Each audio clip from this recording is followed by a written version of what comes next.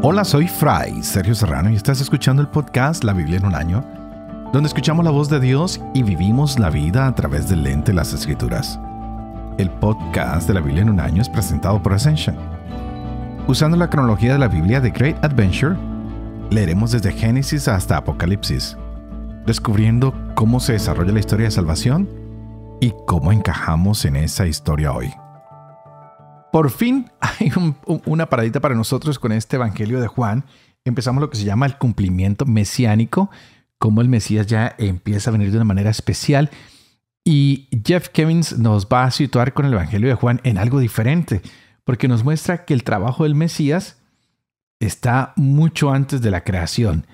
Es el agente que permite que toda la creación se dé. En el principio estaba ahí el logos, que lo vamos a descubrir algo muy importante y los invito a que se escuchen el programa que grabamos con el padre Dempsey acerca de todo este cumplimiento mesiánico, donde iremos descubriendo cómo el trabajo de Cristo es anterior a la creación, es anterior a la caída, es anterior a su propia encarnación.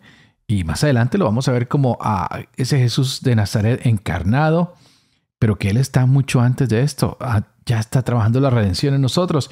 Y Dios que lo va a enviar para ser el redentor del mundo y precisamente porque Él ha estado en la creación, Él sabe cómo es todo, cómo se tiene que hacer. Así que el trabajo que vamos a ver de Jesús ahora es un trabajo redentor. Es nada nuevo porque es lo que se ha venido haciendo durante todo este camino que hemos llevado de lectura de la Biblia. Y es así como se da la, la, la, la promesa, se cumple la promesa que se ha hecho desde el momento en que Dios entra en contacto con la caída del hombre. Así que el trabajo del ser humano es también parte importante para ayudar a esta creación que se dé. Así que hoy vamos a estar leyendo estos tres primeros capítulos que nos van a ayudar a descubrir cómo esa palabra de Dios se encarna. Y de ahí en adelante vamos a ver cómo se da el comienzo de lo que llamaríamos el ministerio de Jesús. Primero vamos a tener a Juan Bautista que da testimonio acerca de Jesús. Después nos daremos cuenta que ahora los discípulos de Juan quieren seguir a Jesús. Y Jesús empieza a llamar a las personas, llama a Felipe y a Natanael. Y de esta manera el ministerio público de Jesús empieza a tener señales, empiezan a haber discursos. Vamos a ver que el agua se convierte en vino. Vamos a ver el trabajo de María en, en, este primer milagro, que se lo sacan a Jesús de la manga. También vamos a ver cómo se limpia el templo, cómo Jesús viene al templo a, hacer un poquito de estrago y empieza a enseñar a Nicodemo. Y por fin Juan el Bautista dice, ya no tengo nada más que enseñar, este es el hombre que tiene que estar. Y así que de ahí en adelante veremos a Jesús yendo a los samaritanos, eh, veremos a Jesús sanando, que está visitando a Jerusalén al final de la fiesta que se hace todos los años, va a alimentar a más de cinco mil personas, lo veremos en la fiesta de los tabernáculos Jesús sanando a un ciego nacimiento, no porque Él se quiera hacer notar, sino para que se vea la gloria de Dios. Y lo más hermoso, un Jesús que no se viene a describir como rey, sino como el buen pastor. Como el buen pastor. Y de ahí en adelante empiezan los problemas porque veremos que Jesús nos muestra su identidad. Y aparte de eso, resucita a Lázaro. Así que muchos problemas se vienen de aquí en adelante. Este es el día 99. Estaremos leyendo Juan capítulo 1 al 3, Proverbios 5 del 1 al 6. Empecemos. Juan capítulo 1 En el principio existía la palabra, y la palabra estaba junto a Dios, y la palabra era Dios. Ella estaba en el principio junto a Dios. Todo se hizo por ella, y sin ella no se hizo nada. Lo que se hizo en ella era la vida, y la vida era la luz de los hombres. Y la luz brilla en las tinieblas, y las tinieblas no la vencieron. Hubo un hombre enviado por Dios. Se llamaba Juan. Este vino para un testimonio, para dar testimonio de la luz, para que todos creyeran por él. No era él la luz, sino quien debía dar testimonio de la luz. La palabra era la luz verdadera que ilumina a todo hombre, viniendo a este mundo. En el mundo estaba, y el mundo fue hecho por ella, y el mundo no la conoció. Vino a los suyos, y los suyos no la recibieron. Pero a todos los que la recibieron, les dio poder de hacerse hijos de Dios, a los que creen en su nombre, los cuales no nacieron de sangre, ni de deseo de carne, ni de deseo de hombre, sino que nacieron de Dios. Y la palabra se hizo carne, y puso su morada entre nosotros. Y hemos contemplado su gloria, gloria que recibe del Padre como unigénito, lleno de gracia y de verdad. Juan da testimonio de él y clama. Este era del que yo dije, el que viene detrás de mí se ha puesto delante de mí, porque existía antes que yo. Pues de su plenitud hemos recibido todos y gracia por gracia, porque la ley fue dada por medio de Moisés. La gracia y la verdad nos han llegado por Jesucristo. A Dios nadie lo ha visto jamás. El Hijo unigénito que está en el seno del Padre, Él lo ha contado. Y este fue el testimonio de Juan cuando los judíos enviaron desde Jerusalén sacerdotes y levitas a preguntarle, ¿quién eres tú? Él confesó, y no negó, confesó, yo no soy el Cristo. Y le preguntaron, ¿qué pues? ¿Eres tú Elías? Él dijo, no lo soy. ¿Eres tú el profeta? Respondió, no. Entonces le dijeron, ¿quién eres pues para que demos respuesta a los que nos han enviado? ¿Qué dices de ti mismo? Dijo él, yo soy la voz del que clama en el desierto. Rectifiquen el camino del Señor. Como dijo el profeta Isaías. Habían sido enviados por los fariseos y le preguntaron, ¿por qué pues bautizas si no eres tú el Cristo, ni Elías, ni el profeta? Juan le respondió, yo bautizo con agua, pero en medio de ustedes está uno a quien no conocen que viene detrás de mí a quien yo no soy digno de desatarle la correa de su sandalia. Esto ocurrió en Betabará, al otro lado del Jordán donde estaba Juan bautizando. Al día siguiente ve a Jesús venir hacia él y dice, He ahí el Cordero de Dios que quita el pecado del mundo. Este es por quien yo dije, Detrás de mí viene un hombre que se ha puesto delante de mí, porque existía antes que yo. Yo no lo conocía, pero he venido a bautizar en agua para que Él sea manifestado a Israel. Y Juan dio testimonio diciendo, He visto al Espíritu que bajaba como una paloma del cielo y se quedaba sobre él. Y yo no lo conocía, pero el que me envió a bautizar con agua me dijo, Aquel sobre quien veas que baja el Espíritu y se queda sobre él, ese es el que bautiza con Espíritu Santo. Y yo lo he visto. Y doy testimonio de que ese es el elegido de Dios. Al día siguiente Juan se encontraba de nuevo allí con los dos discípulos. Fijándose en Jesús que pasaba, dice, He ahí el Cordero de Dios. Los dos discípulos lo oyeron hablar así y siguieron a Jesús. Jesús se volvió y al ver que lo seguían les dice, ¿Qué buscan? Ellos le respondieron, Rabí, ¿qué quiere decir maestro? ¿Dónde vives? Le respondió, vengan y lo verán. Fueron pues, vieron dónde vivía y se quedaron con él aquel día. Eran más o menos las cuatro de la tarde. Andrés, el hermano de Simón Pedro, era uno de los dos que habían oído a Juan y habían seguido a Jesús. Este encuentra primeramente a su propio hermano Simón y le dice, Hemos encontrado al Mesías que quiere decir Cristo. Y lo llevó a Jesús, fijando Jesús su mirada en él, le dijo, Tú eres Simón, el hijo de Juan, tú te llamarás Cefas, que quiere decir piedra. Al día siguiente, Jesús quiso partir para Galilea y encuentra a Felipe. Y Jesús le dice, sígueme. Felipe era de Bethsaida de la ciudad de Andrés y Pedro. Felipe encuentra a Natanael y le dice, Aquel de quien escribió Moisés en la ley y también los profetas, lo hemos encontrado. Jesús, el hijo de José, el de Nazaret. Le respondió Natanael, ¿de Nazaret puede haber cosa buena?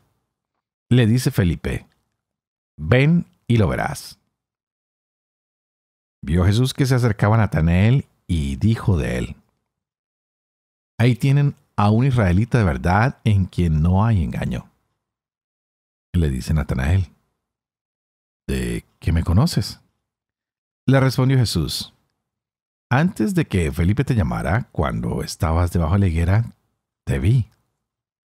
Le respondió Natanael, Rabí, tú eres el Hijo de Dios, tú eres el Rey de Israel. Jesús le contestó, por haberte dicho que te vi debajo de la higuera, ¿crees? Has de ver cosas mayores. Y le añadió, En verdad, en verdad les digo, verán el cielo abierto y a los ángeles de Dios subir y bajar sobre el Hijo del Hombre. Tres días después se celebraba una boda en Caná de Galilea, y estaba allí la madre Jesús.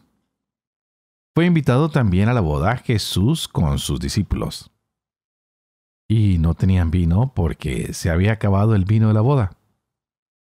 Le dice a Jesús su madre, no tienen vino. Jesús le responde, ¿qué tengo yo contigo mujer? Todavía no ha llegado mi hora. Dice su madre a los sirvientes, hagan lo que él les diga. Había allí seis tinajas de piedra puestas para las purificaciones de los judíos de dos o tres medidas cada una. Les dice Jesús, llenen las tinajas de agua. Y las llenaron hasta arriba. Sáquenlo ahora, les dice, y llévenlo al mayordomo. Ellos lo llevaron. Cuando el mayordomo probó el agua convertida en vino, como ignoraba de dónde era, los sirvientes, los que habían sacado el agua, sí que lo sabían llama al mayordomo al novio y le dice, todos sirven primero el vino bueno y cuando ya están bebidos el inferior. Pero tú has guardado el vino bueno hasta ahora. Tal comienzo de los signos hizo Jesús en Caná de Galilea y manifestó su gloria y creyeron en él sus discípulos. Después bajó a Cafarnaún con su madre y sus hermanos y sus discípulos pero no se quedaron allí muchos días. Se acercaba la Pascua a los judíos y Jesús subió a Jerusalén. Y encontró en el templo a los vendedores de bueyes, ovejas y palomas, y a los cambistas en sus puestos. Haciendo un látigo con cuerdas, echó a todos fuera del templo con las ovejas y los bueyes. Desparramó el dinero de los cambistas y les volcó las mesas. Y dijo a los que vendían palomas, quiten esto de aquí. No hagan de la casa de mi padre una casa de mercado. Sus discípulos se acordaron de que estaba escrito, El celo por tu casa me devorará. Los judíos entonces replicaron diciéndole, ¿Qué signo nos muestras para orar así? Jesús les respondió, Destruyan este santuario y en tres días lo levantaré. Los judíos le contestaron, 46 años se ha tardado en construir este santuario, ¿y tú lo vas a levantar en tres días? Pero él hablaba del santuario de su cuerpo. Cuando fue levantado, pues, de entre los muertos, se acordaron sus discípulos de que había dicho eso y creyeron en la escritura y en las palabras que había dicho Jesús. Mientras estuvo en Jerusalén por la fiesta de la Pascua, muchos creyeron en su nombre al ver los signos que realizaba. Pero Jesús no les tenía confianza porque los conocía a todos y no tenía necesidad de que se le diera testimonio acerca de los hombres, pues él conocía lo que hay en el hombre. Había entre los fariseos un hombre llamado Nicodemo, magistrado judío. Fue este a Jesús de noche y le dijo, Rabí, sabemos que has venido a Dios como maestro, porque nadie puede realizar los signos que tú realizas si Dios no está con él. Jesús le respondió, En verdad, en verdad te digo, el que no nazca de nuevo no puede ver el reino de Dios. Le dice Nicodemo, ¿cómo puede uno nacer siendo ya viejo? ¿Puede acaso entrar otra vez en el seno de su madre y nacer? Respondió Jesús, En verdad, en verdad te digo, el que no nazca de agua y de espíritu, no puede entrar en el reino de Dios. Lo nacido de la carne es carne. Lo nacido del espíritu es espíritu. No te asombres de que te haya dicho, tienen que nacer de nuevo. El viento sopla donde quiere y oyes su voz, pero no sabes de dónde viene ni a dónde va. Así es todo el que nace del Espíritu. Respondió Nicodemo, ¿Cómo puede ser eso? Jesús le respondió, ¿Tú eres maestro en Israel y no sabes estas cosas? En verdad, en verdad te digo, nosotros hablamos de lo que sabemos y damos testimonio de lo que hemos visto, pero ustedes no aceptan nuestro testimonio. Si al decirles cosas de la tierra no creen, ¿cómo van a creer si les digo cosas del cielo? Nadie ha subido al cielo sino el que bajó del cielo, el Hijo del Hombre. Y como Moisés elevó la serpiente en el desierto, así tiene que ser elevado el Hijo del Hombre, para que todo el que crea tenga en él la vida eterna. Porque tanto amó Dios al mundo, que dio a su Hijo unigénito, para que todo el que crea en él no perezca, sino que tenga vida eterna. Porque Dios no ha enviado a su Hijo al mundo para juzgar al mundo, sino para que el mundo se salve por él. El que cree en él no es juzgado. Pero el que no cree ya está juzgado porque no ha creído en el nombre del Hijo unigénito de Dios. Y el juicio está en que la luz vino al mundo, y los hombres amaron más las tinieblas que la luz, porque sus obras eran malas. Pues todo el que obra mal, aborrece la luz y no va a la luz, para que no sean censuradas sus obras. Pero el que obra la verdad va a la luz, para que quede de manifiesto que sus obras están hechas según Dios. Después de esto, se fue Jesús con sus discípulos al país de Judea, y allí se estaba con ellos y bautizaba. Juan también estaba bautizando en Ainón, cerca de Salín, porque había allí mucha agua, y la gente acudía y se bautizaba pues todavía Juan no había sido metido en la cárcel. Se suscitó una discusión entre los discípulos de Juan y un judío acerca de la purificación. Fueron pues a Juan y le dijeron, Rabí, el que estaba contigo al otro lado del Jordán, aquel de quien diste testimonio, mira, está bautizando y todos se van a él. Juan respondió, Nadie puede recibir nada si no se le ha dado del cielo.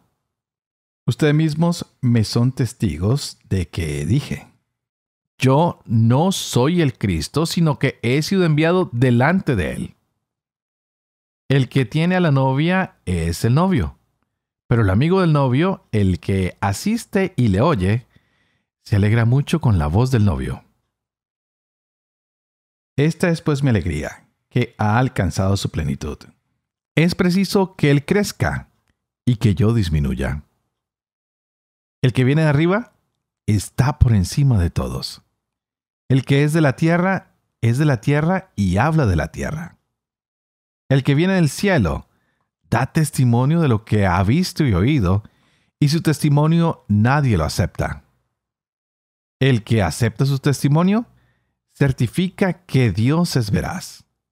Porque aquel a quien Dios ha enviado habla las palabras de Dios, porque no da el Espíritu con medida. El Padre ama al Hijo y ha puesto todo en su mano. El que cree en el Hijo tiene vida eterna. El que resiste al Hijo no verá la vida, sino que la ira de Dios permanece sobre él.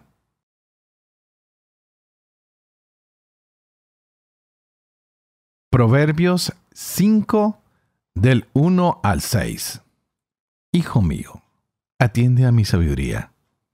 Presta oído a mi prudencia, para que mantengas la discreción y tus labios guarden el saber. Los labios de la extraña destilan miel, y su paladar es más suave que el aceite, pero termina siendo amarga como el ajenjo, cortante como arma de doble filo. Sus pies se precipitan a la muerte, sus pasos van derechos al abismo. Por no cuidar la senda de la vida, sin saberlo, extravía sus senderos. Padre de amor y misericordia, tú que haces cuenta la lengua de los niños, educa también la mía e infunde en mis labios la gracia de tu bendición, Padre, Hijo y Espíritu Santo. Y a ti te invito para que pidas al Espíritu Santo que abra nuestra mente y nuestro corazón para que podamos gozar de la palabra de Dios hoy en nuestras vidas. Y sí que nos la vamos a gozar hoy porque estamos en algo interesantísimo. En el principio existía el verbo, existía la palabra, existía ese verbo, esa palabra que estaba con Dios y esa palabra, ese verbo, era el mismo Dios. Y así que todas las cosas son hechas por medio de Él y sin Él nada está hecho. Así que nos damos cuenta que todo lo que existe se ha hecho por y para Jesús y por medio del cual se han creado todas las cosas. Por eso es el único que puede recrear la creación. Es el único que nos puede volver a ser nuevos. Nos damos cuenta que ese verbo, esa palabra está trabajando, ese logos, y no ha parado desde el inicio de la creación.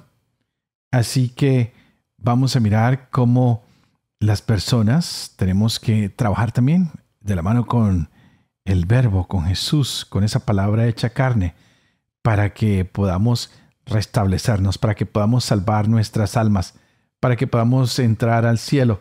Así que reconocemos que de aquí en adelante nos encontramos con Jesús, el Mesías, que va trabajando con Dios, que es el mismo Dios que trabaja con nosotros.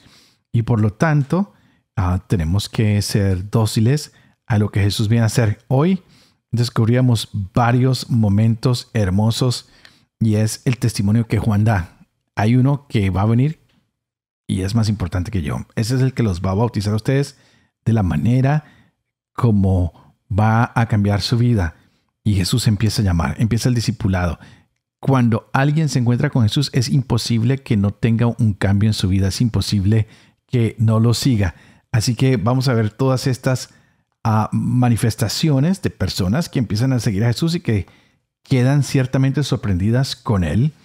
Y veremos cómo María le adelanta el trabajo a Jesús. Y esto me acuerda, siempre que voy a vacaciones a mi casa, casi un aviso porque cuando llego ya tengo bautizos, matrimonios y muchas cosas en, mi agenda y simplemente quiero ir a descansar. Me imagino, me imagino que lo mismo pasó con Jesús. Él quería ir a la fiesta, disfrutar de la fiesta, pero su mamá dice, hey, se acabó el vino, Jesús. Y le toca responder a Jesús de una manera generosa. Viene y convierte el agua que se usaba en esos odres de purificación en el mejor vino. Porque ahora cuando el Señor nos purifica, nos convierte en el mejor vino, nos entrega siempre lo mejor. No hace las cosas a medias. Es por eso que viene y limpia el templo. A todos estos cambistas, mercaderes, los saca al templo y dice, no vuelvan esto un mercado, porque es la casa de Dios donde tenemos que encontrar el amor, la reconciliación, la paz. Y es por eso que Jesús empieza a caminar hacia los pueblos que necesitan la salvación. Vemos a Jesús sanando. Vemos a un Jesús que está celebrando, no se aparta de las tradiciones, está con el pueblo. Pero vemos un Jesús que en medio de su enseñanza se da cuenta de que también tenemos que llenarle el estómago a las personas que están recibiendo el mensaje porque nadie con hambre puede escuchar el mensaje. Es Él quien se va a dedicar a darle de comer a la gente y quien más va a decir que Él es el pan de vida y que la vida se encuentra a través de Él. Así que hoy vamos a pedirle al Señor que tal vez como este ciego de nacimiento, que nos permita ver, no para que nos notemos nosotros más, sino para que se note la gloria de Dios. Y digamos a Jesús, Señor, sabemos que tú eres el buen pastor, tú das la vida por nosotros. Enséñanos a ser tan generosos como tú lo eres, para que nosotros tal vez también podamos ayudar a que otros se levanten. Así como tú levantaste a Lázaro que estaba muerto, enséñanos a levantar a tantas personas que están muertas en nuestras vidas, simplemente porque nos hemos alejado de ellas, porque ya no les hablamos, porque las despreciamos, porque tal vez se equivocaron y nuestro odio y rencor nos ha alejado de ellas. Qué lindo que hoy fuera un día de sanación en nuestras vidas, para que pudiéramos ver al hermano que está frente a nosotros. Este ciego, cuando abrió sus ojos, wow, lo primero que vio fue a Jesús. Hoy tú cuando abriste tus ojos, ¿a quién fue la primera persona que viste? ¿A tu esposa, a tu esposo, a tus hijos? ¿O tal vez no hay nadie a tu lado porque a todos los has corrido de tu vida? No olvidemos que Jesús vino a darnos vida y vida en abundancia. Así que antes de terminar, no se les olvide por favor pedir por mí. Oren por mí para que sea fiel a este ministerio que se me ha confiado. Para que pueda vivir con fe lo que leo, lo que comparto con ustedes. Para que pueda enseñar lo que creo, lo que es la verdad. Y para que también pueda cumplir lo que estoy enseñando. Y que la bendición de Dios Todopoderoso, que es Padre, Hijo y Espíritu Santo, descienda sobre ustedes y los acompañe siempre. Dios los bendiga.